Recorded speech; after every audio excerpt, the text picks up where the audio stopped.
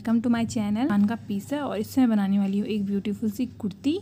Very simple से steps में मैं आपके साथ शेयर करूँगी। अगर आप बिगनर हैं, आपको सिलाई नहीं आती है तो आप इस तरह से कट कर सकते हो अपनी कुर्ती को। तो चलिए वीडियो को स्टार्ट करते हैं। तो सबसे पहले आप तरह से इसको हम फोल्ड करेंगे। अब हम अपनी कुर्ती लेंगे, जो भी हमारे फिटिंग की कुर्ती है, और इसकी कुर्ती के पीस के ऊपर रखेंगे। अब हम कुर्ती के साइड में मार्क कर लेंगे। ये देखिए एकदम जितना फिटिंग है, पूरा उतना ही मार्क कर लेना है आपको। फिटिंग के हिसाब से पूरा अगर आपको लूज़ रखना है तो आप लूज़ रख सकते हो। अगर अपनी फिटिंग कुर्ती के बराबर ही आपको फिट रखना है तो उतना ही मार्क करना है एकदम। और दो इंच आपने एक्स्ट्रा आगे को रख लेना है, बस। ब्यूटीफुल सी, और उसकी लेंथ हम यहाँ से मेज़र कर लेंगे, जितनी आपको इसकी लेंथ चाहिए। मार्क करने के बाद हम इसका सारा साइड से कट कर लेंगे।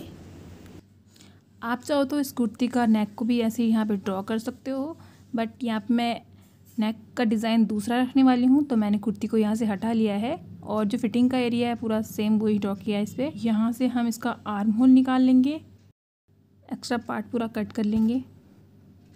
तो ये मेरी दोनों कुर्ती के फ्रंट एंड बैक पार्ट इसमें से निकल चुके हैं। अब हम इसमें से हटा लेंगे फ्रंट वाला पार्ट, क्योंकि फ्रंट का नेक हम दूसरा बना रहे हैं। तो बैक वाले पार्ट में हम तीन इंच के पे नेक बनाएँगे तो बहुत छोटा नेक है। तो यहाँ से मैं नेक को ड्रॉ करूँगी तीन इंच पे। देन नीचे से भी तीन इंच थोड़ा सा गोलाई दे दूँगी, ये गोल नेक बन जाएगा। अब हम कटिंग करेंगे फ्यूल पेपर पे इसके नेक की। तो ये मैंने चौकोर नेक फ्यूल पेपर पे कट कर लिया है सिक्स बाई थ्री का। और यहाँ पे आप इसे प्रेस से भी प्रेस करके चिपका सकते हो। मैंने यहाँ पे पिन से इसको अटैच किया है और ये पूरे में सिलाई लगा लूँगी इसके साइड से। पहले इसको हम पूरा कट कर लेंगे यहाँ चौकोट साइड से कट करना है हमको एक्स्ट्रा आधा इंच का रखते हुए, जिससे ये फोल्ड हो जाएगा फिर। स्लिप के लिए मैंने कुर्ती का बचा हुआ पार्ट लिया है। उसको मैंने फोर फोल्ड कर लिया है इस तरह से। ये जहाँ से आपने आर्म होल लेना है, उस साइड को आर्म होल की साइड में रखना है। तो इस तरह से हम आर्म होल को इस पर ड्रॉ कर लेंगे।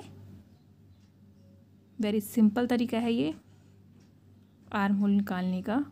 बहुत ज़्यादा सिंपल तरीका है बाजू कट करने का। इस पर आधा इंच का मार्जिन छोड़ते हुए हम इस तरह से इसका आर्म होल को ड्रॉ कर लेंगे, जहाँ पे इसकी फिटिंग आती है। फिटिंग के यहाँ पे टिक करिए अब हम, हमारी कितनी लेंथ लेनी है? यहाँ पे मैं टेन इंच पे लेंथ ले रही हूँ और आपको इसका कितना राउंड चाहिए? मेरे को फाइव इंच पे राउंड चाहिए, टेन इंच स्लिप की लेंथ चाहिए तो मैं इतना मार्क कर लूँगी।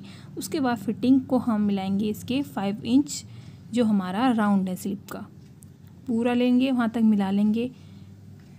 फिर इसको हम पूरा कट कर लेंगे। तो आप देखेंगे ये बिल्कुल ही सिंपल तरीके से आपका एक स्लिप बन के रेडी हो जाएगी। और आपको बस स्टिचिंग करना है और स्लिप को इस, ये मैंने इसका नेक बना दिया है। अब हम यहाँ से इसका सेंटर कट कर लेंगे पहले। और जो हमने नेक दूसरे कपड़े में बनाया है, उसका भी सेंटर हम कट कर लेंगे। अब इस तरह से हम इसका सीधा टाइ सीधा वाला साइड लेंगे। और जहाँ पे हमने इसका सेंटर मार्क किया है, कुर्ती पे और इसके नेक के सेंटर मार्क को एक साथ ही रखना है।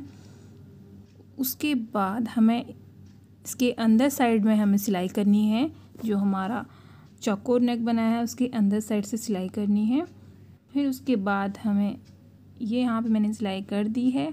अब हम इसके इतने एरिया को कट कर लेंगे। उसके बाद इसको हम अंदर की तरफ़ फोल्ड कर लेंगे नोचिस देते हम इसकी स्टिचिंग करते हैं। यहाँ यहाँ पे मेरी कुर्ती पूरी परफेक्टली बन चुकी है और आप देख सकते हो ये एक ब्यूटीफुल सी कुर्ती बन गई है। इस कुर्ती में मैंने राइट साइड में पॉकेट अटैच की है। अगर आपने वीडियो नहीं देखी है तो लिंक मैं आई बटन में दे दूँगी या डिस्क्रिप्शन बॉक्स में दे दूँगी। आप देख सकते हो बहुत आसान तरीके से मैंने इसमें पॉकेट लगाना बताया है। आप अगर आपकी रेडीमेड कुर्ती है अगर आप उसमें पॉकेट लगाना चाहते हो तो आप इन स्टेप्स के साथ भी उसके पॉकेट लगा सकते